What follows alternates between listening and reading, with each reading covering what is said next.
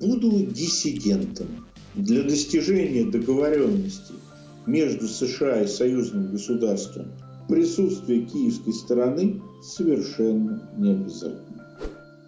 Ваш президент, его как угодно можно оценивать, но это мужчина серьезный. И такие предложения серьезные мужчины не делают просто так.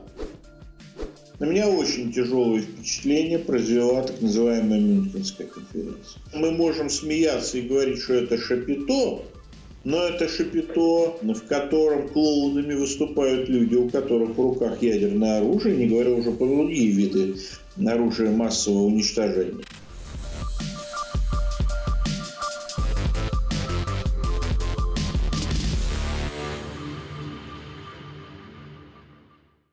Геннадьевич, здравствуйте. Добрый день. Александр Лукашенко говорил, что э, Беларусь не собирается наносить удар по Америке и даже по европейским странам. Но, тем не менее, у нас есть самолеты, которые могут размещать и переносить тактическое ядерное оружие.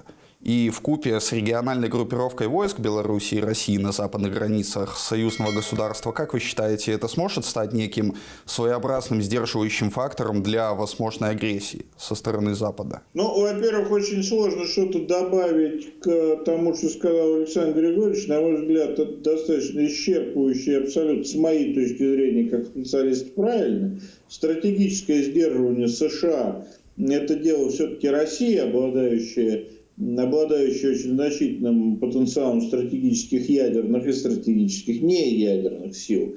Да, но в рамках союзного государства, конечно, в условиях, когда военно-политическая ситуация в, скажем так, западной конечности Евразии обострилась, и когда мы видим э, слишком много э, безответственных проявлений в политике и военной политике со стороны Польши, со стороны Литвы и некоторых других государств, э, нам стала понятна степень безответственности поведения некоторых партнеров, некоторых наших приграничных партнеров. Ну так вот, в этой ситуации, конечно, потенциал сдерживания, который есть на региональном уровне, и который во многом основывается на военном, военном и военно-политическом потенциале Республики Беларусь, надо было укрепить.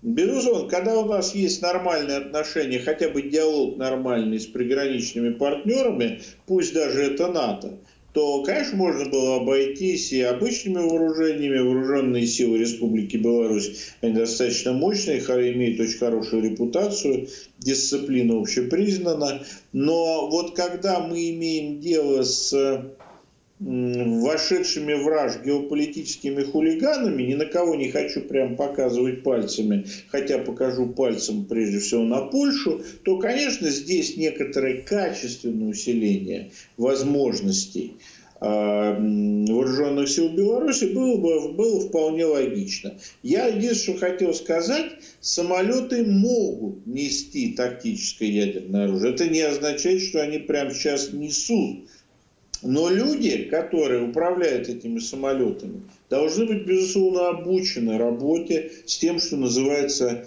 в профессиональных кругах спецбоеприпасами. Насколько это охладит пыл, знаете, а здесь вот я ну вот, э, не могу вам дать уверенного ответа. Должно. Но может ли? Но вот я смотрю, у меня очень тяжелое, я не буду лукавить, на меня очень тяжелое впечатление произвела так называемая Мюнхенская конференция. Это, конечно, мы можем смеяться и говорить, что это шапито, но это шапито, а, в котором клоунами выступают люди, у которых в руках ядерное оружие, не говоря уже про другие виды оружия массового уничтожения. И вот здесь я все-таки, знаете, к сожалению, вынужден поставить многоточие. Должно. Но сможет ли? Здесь, конечно, вопросы у нас остаются. Если э, речь идет о поставках э, танков в Украину, то здесь тоже не все очевидно. Вроде как политическое решение уже однозначно принято, но не так давно министр обороны Великобритании, он заявил, что не все страны, которые согласны отправить танки, готовы их отправить из-за того, что их техническое состояние, скажем так, оставляет желать много лучшего. Тогда из-за чего была вся эта шумиха с отправкой танков в огромном количестве, которая, как выясняется, ну, по сути, это даже не все страны могут отправить. Ну, послушайте, э, дело здесь, э, что называется, это, это палка, извините, за каламбур от трех концов. Первое, начну с вашего вопроса и с вашего комментария про техническое состояние. Но дело не в техническом состоянии. Захотели бы, подвинтили, подкрасили. Не настолько в плохом они техническом состоянии. Танк не самолет. Самолет, да, который 20 лет простоял там, допустим, в какой-нибудь штате Юта или, или Айова, так, э, или Нью-Мексико, где вот там есть огромные, уходящие за горизонт э, стоян, э, стоянки отстоя самолетов, в том числе боевых, да, конечно, это все понятно. Невада там вот это вот прям вся вот забитая. Да, здесь понятно, что большая часть это, конечно, запчасти в лучшем случае. Но танк это более такая суровая машина, ее можно привести в порядок. Но у всех, кто был так или иначе вовлечен в эту замечательную по безумию комбинацию с поставкой танков, стал вопрос, а только ли танки мы поставляем? Мы же должны будем поставить и техников, да, и матери... подразделения материально-технического обеспечения Начать с того, что даже такого калибра пушки эм, э, на Украине не было, да и вообще в Восточной Европе это большая редкость. Значит, мы должны поставлять снаряды, мы должны, что называется, развивать снаряды. Кстати, помните, обратите внимание, а будем ли мы поставлять э, снаряды с объединенным ураном или нет. То есть люди, которые как бы согласны, все-таки задают вопрос, о степени своей вовлеченности. И именно из-за этого рождается схема, а давайте Германии, которая и так по уши в конфликте, и деваться уже некуда, их эти танки выкупят, мы будем ни при чем, да, нам что-нибудь новое поставят либо американцы, либо кто-то еще, либо те же немцы, а это поставит Германия, пусть она и разбирается. Это первый элемент этой эпохи. Второй элемент этой палки. Ну, конечно, вся Европа абсолютно, а, в некот, ну, вот абсолютно раздражена наглым, заносчивым поведением Киева. Конечно, это эскалация требований, которая звучит со стороны Киева, а на Европу Э, ну, политически, конечно, загоняет в угол. Ничего они сказать, э, отказаться от участия в этом они уже не могут. Так? Но на бюрократическом уровне саботировать, да, за милую душу, что мы и наблюдаем. Это же саботаж не на политическом уровне, никто же не сказал, что нет, мы боимся эскалации конфликта, наоборот, заметьте, они все говорят, мы не боимся эскалации конфликта. Но есть нюанс, как говорится, гранаты у нас не той системы, как говорилось в известном советском фильме. Да, да, не завезли гайки. Вот завезут и вот прямо обязательно. Так? Но это, это, конечно, отражение того, что Киев хотят хоть как-то поставить на место. Ну и третий конец этой палки. Да. Вопрос в том, что никто не хочет быть первым. Все хотят, чтобы первым были американцы. Потому что все прекрасно понимают, что если э, Европа залезет туда первой и в том виде, как это предложи, предлагалось, то американцы в какой-то момент скажут, ну да, у нас тоже что-то, да ну, вот это все европейские дела, а у нас лапки и выборы в Конгресс, поэтому давайте разбирайтесь сами. Для меня индикатором того, что Европа всерьез воспринимает вот эту перспективу, был э, товарищ Риши Сунак, который был готов поставить все, что угодно, и вот еще компоту налить, значит, Зеленскому. А уж и танки, чтобы эти танки э, Челленджер там делали со своим весом, это другой вопрос, давайте не обсуждать. Там единственное, в этих танках хорошая пушка. Да, вот пушка и как подвижный форт, да, туда, куда бы это все прошло. Проехал бы, не раздавив мосты. Но он все был готов, он самолеты был готов поставить. Душа человека. И в какой-то момент этот человек говорит, да, я буду бороться э, с Россией до ее разрушения, до последнего украинца и желательно еще поляка, а если бы еще до последнего немца, то об этом можно только мечтать, да, но не сейчас. Танков нет, а, самолетов нет и, вероятнее всего, не будет. А если и будет, то после войны значит, мы будем восстанавливать, когда значит, все закончится, мы будем восстанавливать военный потенциал того, что останется от Украины. Вот, собственно, весь расклад. Американцам, европейцы, в доступных европейцам формах, да, это не самостоятельно, суверенитет они утратили но в доступных для себя бюрократических, бюрократических формах сказали, ребят, мы да, конечно, да, и немцы уже там, немцы уже, я, кстати говоря, выскажу у вас предположение, я его говорю, но у вас еще раз его повторю.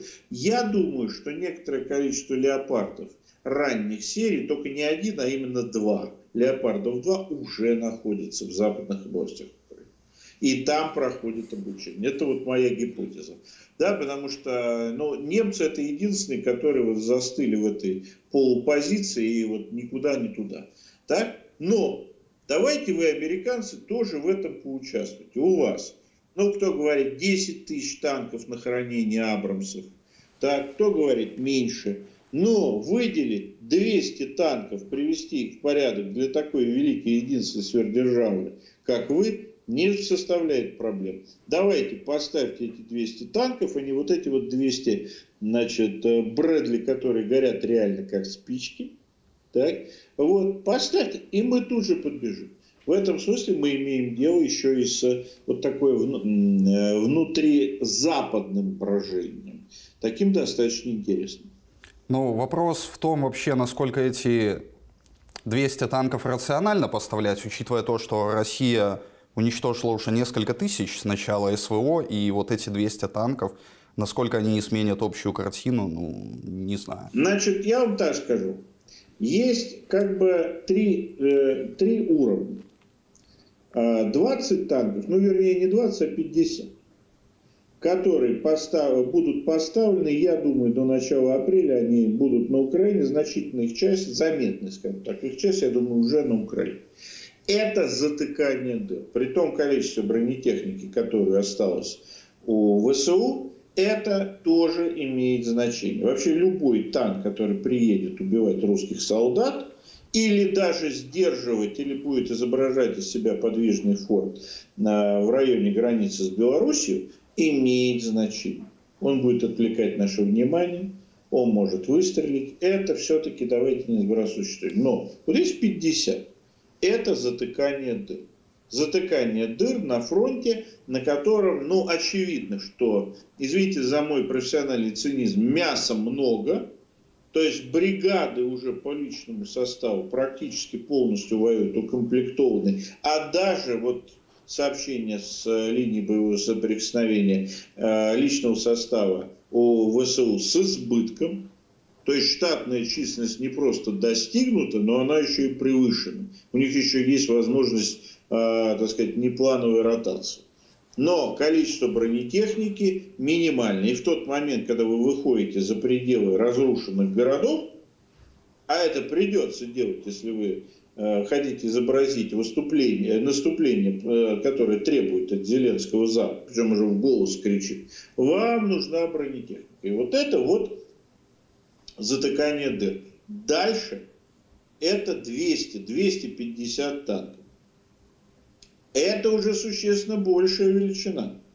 Это возможность сформировать фактически танковую дивизию, которых на фронте нет уже давно. А танковая дивизия на фронте с таким количеством танков, это уже оперативно, а, оперативно-стратегический инструмент. И вот это уже опасно.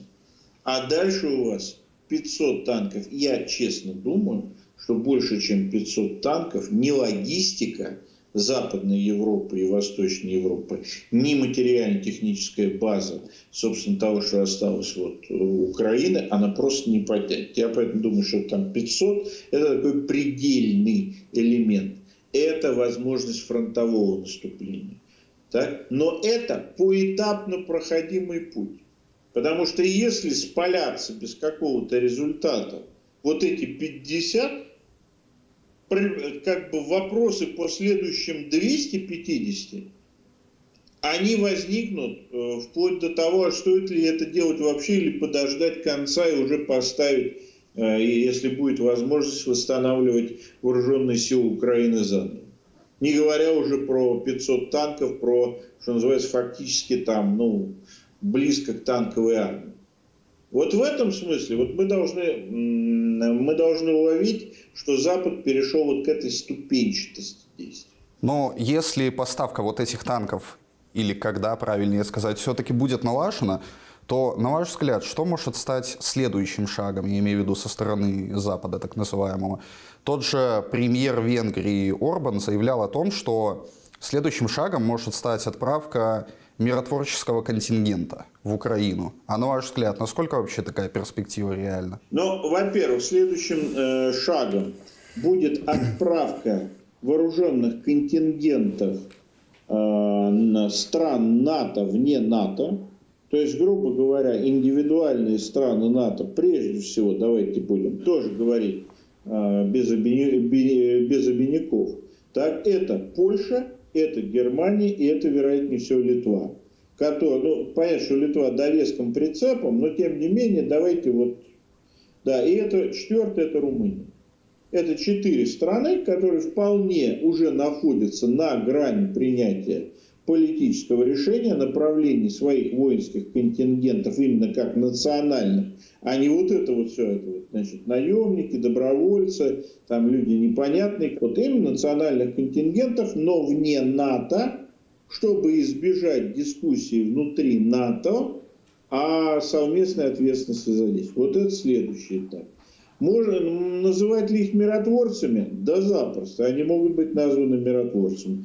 Более того, я вообще не исключаю, что значительная часть таких контингентов будет э, составлена из полицейских сил заниматься прежде всего обеспечением стабильности тыла того, что останется от Украины, а не присутствием на фронте. Потому что самая главная проблема в ближайших шести месяцев киевского режима – это не фронт.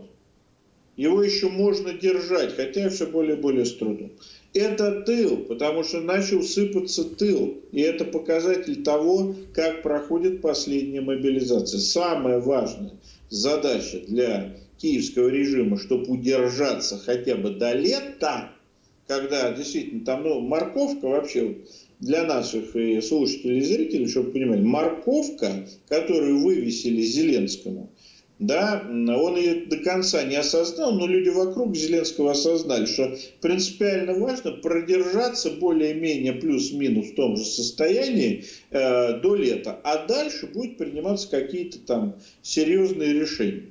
Но самое главное, да, вот с такой, э, извините, э, с тем темпом и тем ходом мобилизации, который вот последней волны, которую мы наблюдаем, до лета продержаться. Это более чем проблематично. Поэтому Задача натовцев – это обеспечить стабильность, управляемость, ну, если хотите, тоталитарными, военно-тоталитарными методами тыла, загрести там, в особенности на Западной Украине, и я бы даже сказал, на северо-западной Украине, максимум народа, которое пропустить через мясорубку, ну, вот, на Донбасском, я думаю, к этому времени это все будет находиться уже на Донбасском кряже, и из остатков, которые там выживут и не потеряют конечности, сформировать ту армию, которая вот займет, как они сейчас это описывают, относительно твердый фронт по Днепру. И вот тогда уже, значит, вот этот начнется вариант две Кореи, вот это такое бла-бла-бла. Вот, собственно, их мастер-план. Вот вы упомянули Польшу в числе тех стран, которые могут отправить свой э, воинский контингент или миротворческий, назовем его.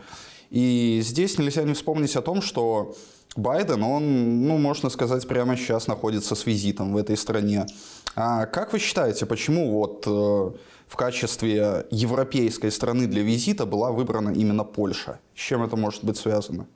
Ну что, Польша теперь Европа. Вернее, Европа это Польша. Рань, раньше Европа это была Германия. Францию никто из американских политиков первой величины не любил, кроме одного человека, это Джон Керри. Ну, он сейчас никакой роли особенно не играет. Да, но выбор всегда был главным инструментом, главным рупором, через который Америка так или иначе управляла Европой, это была Германия. Концепция изменилась. Почему? Потому что а, Германия нужна была раньше как сила, прежде всего, геоэкономическая, как сила, которая могла, если не быть управляемой, создать э, американцам некую конкуренцию, нет, не в Атлантическом мире, за его пределами, в Евразии, на Ближнем Востоке. На сегодняшний день очевидно совершенно, что американцы в целом, это абсолютно, по-моему, бипартийный консенсус, Германию списали. Все, Германия им не представляется государством, способным хоть на какую-то самостоятельность. Что нужно американцам? Зубы им нужны. У кого в Европе есть зубы? Только у Польши. Ну, еще говорят у Румынии, но это не точно. Но и, собственно, цену румынской армии, я думаю, что все прекрасно знают. Как обозная сила, кстати говоря, как полицейский контингент да, в тылу, да, они, это их функция, в том числе со времен Великой Отечественной войны. На фронте, ну, несерьезно. А, вот. а Польша, Польша, это зубы. И Байден приехал к зубам. Да? Другой вопрос, а насколько окончательно будет передан ну, то, что у нас многие специалисты называют, это не я придумал, сразу говорю, но я с этим согласен. Насколько именно сейчас, именно завтра, послезавтра Польша будет передан э, ярлык на великое княжение в Европе, так сказать, новым, так сказать, ханом э, Великой Орды, это большой вопрос. Полякам еще нужно доказать, потому что, знаете, э, это с Польшей как со свиньей. По-моему, кстати, это белорусская поговорка про то, что такое стричь свинью. Визгу много, шерсти мало. Да, потому что вот у поляков много визгу. Да? А шерсти пока, если разобраться, не так много. Амбиций много, выкриков много, шума много. А вот реально, ну, понятно, что пока это сильно далеко от американских ожиданий. Ну и раз уж Байден, он соизволил прилететь в Варшаву, то тут нельзя не вспомнить, что на днях буквально Александр Лукашенко приглашал его в том числе и в Минск для мирных переговоров по украинскому конфликту. Но как вы считаете, оценят вообще вот такой вот посыл на Западе или это, как обычно, просто пройдет э, мимо ушей? Знаете, я вам так скажу. А, я с вашим президентом никогда не встречался, и даже вот могу сказать, э, я живьем его не видел. Я его видел только по телевизору и так далее. Поэтому мне ответить на этот вопрос сложно. Но я вам опишу ситуацию, как она видится из Москвы. Надеюсь, что до меня никто не обидится. В Москве большая часть, а, большая часть комментаторов воспринимает это как такой, знаете, троллинг. Я с этим категорически не согласен. Во-первых, потому что это очень вот то, как это изложил Александр Григорьевич, это очень, во-первых, ну, такое серьезное предложение. Ваш президент, его как угодно можно оценивать, но это мужчина серьезный. И такие предложения серьезные мужчины не делают просто так. Да, на 90% значит, э, это предложение не имело никаких перспектив для реализации. Но какой-то процент, что кто-то в Вашингтоне скажут, да давайте попробуем. Может быть, никто бы ни о чем не договорился. Хотя, кстати говоря, согласен с Александром Григорьевичем, что, скорее всего, договорились. Но шанс был? Был. Серьезность ситуации оценивают в Соединенных Штатах? Оценивают. Вот почему я считаю, что это был не троллинг со стороны Александра Григорьевича. Потому что это даже хронологически совпадало с вот этими сливами Сеймура Херша. А что такое сливы Сеймура Херша? Да? Я, э, вот, э, вот этот человек в американской не журналистике, в американской политике, считайте, три с лишним, да больше, четыре десятка лет на очень высоком уровне. И он вхож туда, куда, например, Дональда Трампа на порог не пускали. И то, что этого человека в его возрасте попросили озвучить некоторые моменты, говорит о том, что не все в Америке хотят умирать за идею, которую не знают. Потому что вот сейчас случись большая война с обменом ядерных, ядерными ударами, Америка умрет за идею, которую, которую никто не озвучил, которую никто не понимает, а не понятно, за что умрут. Потому что в Карибский кризис понятно за что. За то, чтобы разгромить коммунизм, да, который ставил задачу уничтожения капитала. Там хотя бы понятно за что было. А сейчас за что? За демократию на Украине? Смешно, да? Большая часть американцев это на карте не найдет. И вот эти люди, вот эти люди в, американской не просто элите, а в том, что называется крем де ля крем, да, вот, вот в этих вот, как бы говорить, в закулисье американской элиты, вот совсем в элитных кругах, да, умирать не хотят. И в этом смысле я думаю, что, конечно, сейчас крайне маловероятно, что предложение Александра Юрьевича Лукашенко будет востребовано. Но в будущем я думаю, что о нем, как о месте, где можно без посредников России и Соединенным Штатам, а я больше вам скажу, союзному государству России и Беларуси и Соединенным Штатам договориться о том, о правилах игры в западной оконечности Евразии, чтобы там вот эти геополитические балбесы которых мы все понимаем, про кого мы говорим. Да, про Польшу, Литву, там вот этих хулиганов, Великобританию, не устроили бы помимо, ну вот, э, помимо воли правящих элит Запада, а то есть американских элит, э, либо большую войну с обычными вооружениями, либо вообще ядерную войну, и вот это вот идея будет востребована без посредников. Потому что хотел бы обратить ваше внимание, я с уважением отношусь ко всем, но посредников что-то много стало в разрешении этого конфликта. Многовато. Это конфликт не между Россией и Украиной. Это конфликт между Россией и США, который превратился в более широкий конфликт. Это был конфликт по поводу Украины. А сейчас это конфликт по поводу вокруг Украины. И именно поэтому, например, участие э, Беларуси, так, оно в данном случае не просто, так сказать, возможно, оно просто необходимо. В этом смысле я не считаю, что предложение Александра Григорьевича это вот такой чистый стёб. Хотя, конечно, элементы стёба в нем были, что тут скрывать. Но в каждом стёбе есть доля стёба. А есть некое зерно, которое сейчас не проросло, ну, там через полгода, а может быть и раньше, оно возьмет и прорастет. И кто-то в Вашингтоне скажет, а давайте, а что тут? От э, там какого-нибудь Жешева там, и от Варшавы до Минска лететь сегодня чего? Давайте полетим, поговорим, чаечку попьем спокойно. Как это можно? Потому что если это не, что называется, утилизировать безопасно для всех, то в какой-то момент плохо будет всем, а хуже всех будет американцам. Потому что мы хоть знаем, за что мы воюем и почему мы воюем.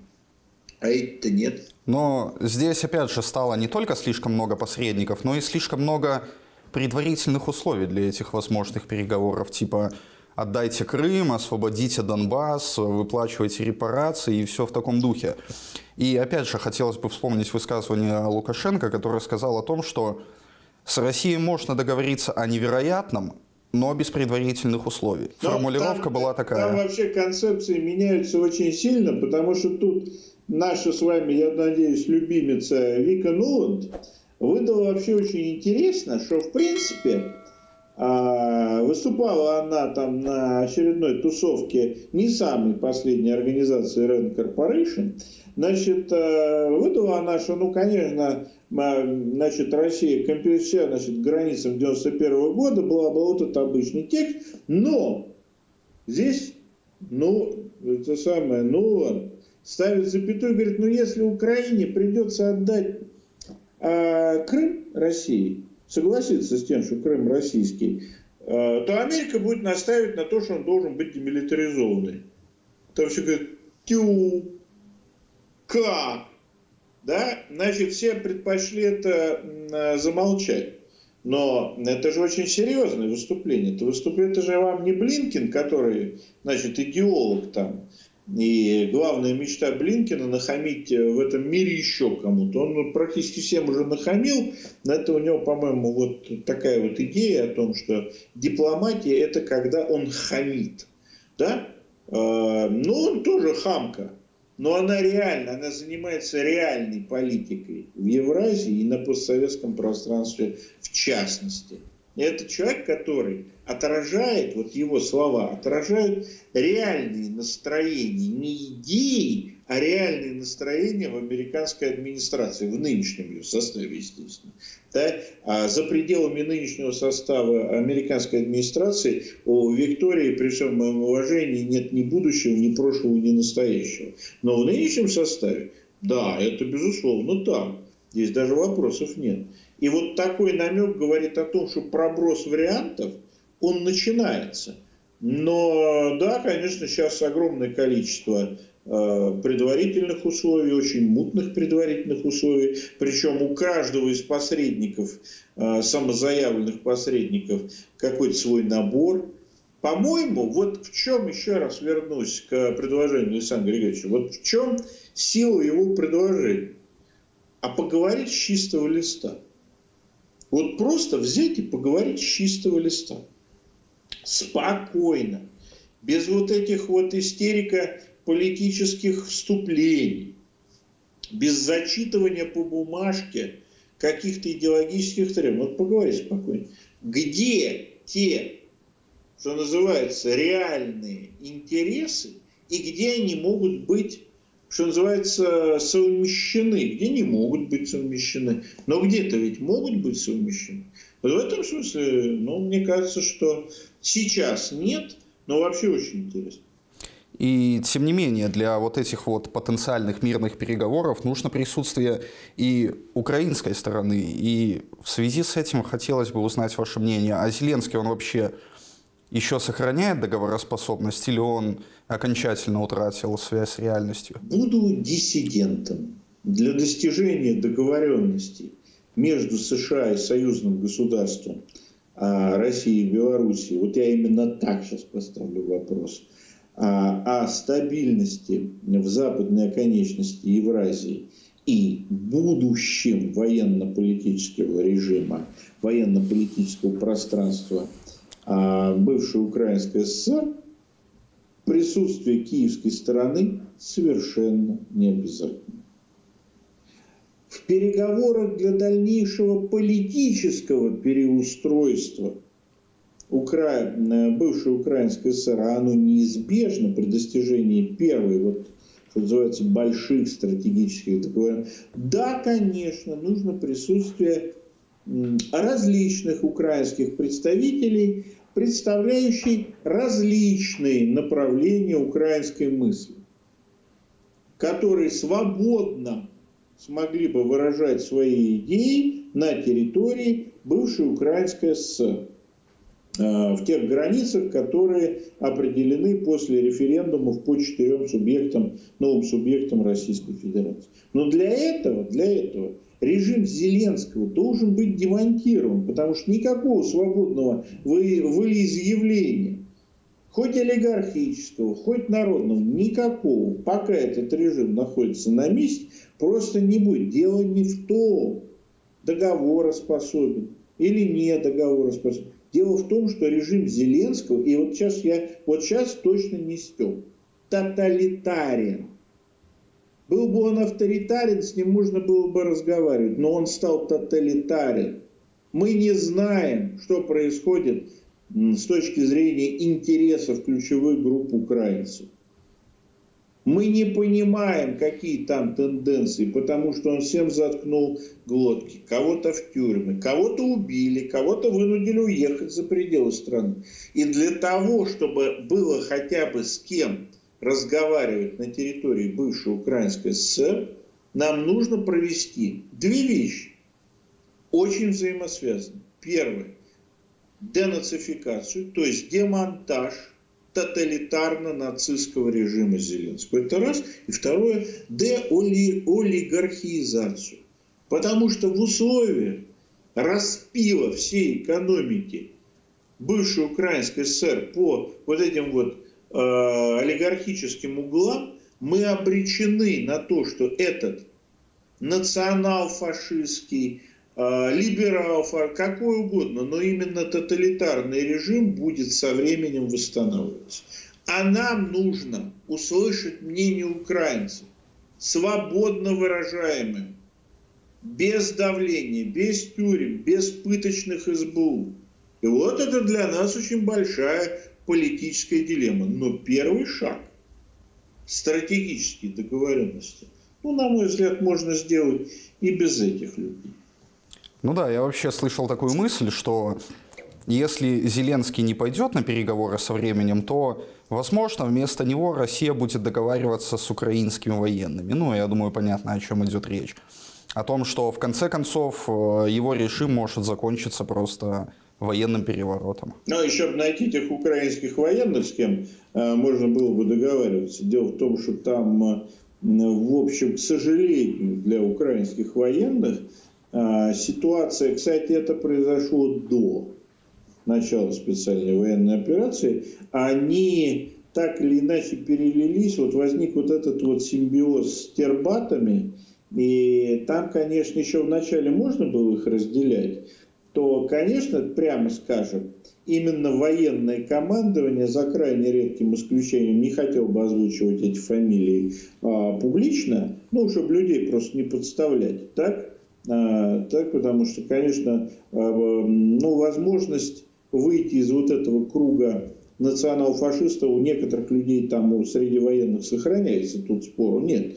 Но в большинстве своем возникла вот эта поглощающая себя а, тоталитарно-националистическая система. Но мы же прекрасно знаем, какое количество дивизий, вернее бригад, у них бригадная организация бригад предвоенного времени на, допустим, 23 а, февраля 22 года в действительности было просто перелицованными тербатами, которые якобы запретили. Потом выяснилось, что штабы и оргструктура, по крайней мере, четырех, а то и пяти бригад предвоенного времени, то есть костяка ВСУ, была в действительности основана на, на националистических батальонах. Я сейчас даже не про запрещенный в России Азов говорю. Это вообще отдельная песня, которая там батальон, потом выясняется, что это полк, а потом выясняется, что это полк размером чуть не с дивизией. Так? Поэтому здесь есть вопросы. Это не значит, что а, невозможен диалог с вменяемыми группами среди украинских военных, которые решат сохранить хоть что бы то ни было. Но в данном случае я бы предостерег от иллюзий. У нас уже был в Германии наци, так сказать, заговор генералов и покушение на Гитлера. Ну, а он не удался. А если бы он удался? Война ведь, э, они же собирались продолжать войну на Восточном фронте. Вопрос был в том, что они считали, что Гитлер принимает неправильное решение. И вот здесь нам надо не попасть вот именно в эту ловушку. Вот именно в эту, так сказать, вот эту вот вилку, если хотите. Да, есть вменяемые люди, но мы должны понимать, что эти люди, во-первых, запачканы кровью по уши, во-вторых, они рассчитывают на то, что они, в отличие от Зеленского, получат больше помощи Запада и смогут более эффективно ее использовать. Посмотрите на нынешнюю дискуссию относительно обороны Артемовска. Там же, как бы, все написано. И здесь, конечно, вопросы есть. Но вот здесь я хотел бы точку поставить. Ну, вообще, утрата доверия к западным политикам – это такая слабодневная тема, особенно учитывая их недавнее заявление о Минских соглашениях. И вот вы вначале упомянули такой интересный термин, такую фразу «геополитические хулиганы». Вот очень интересно звучит в этом отношении. И представитель Беларуси при ООН Валентин Рыбаков сказал не менее интересно, по-моему, вот цитата. «Некоторые политики как подгузники, их нужно часто менять и по той же причине». По-моему, достаточно точно и емко. Но вообще, как вы считаете, возможно ли как-то наладить вот это былое доверие, которое было хотя бы на том же уровне, как до начала СВО? С нынешним поколением европейских политиков нет. А для этого должно смениться поколение, качественно должно смениться поколение политиков в Европе.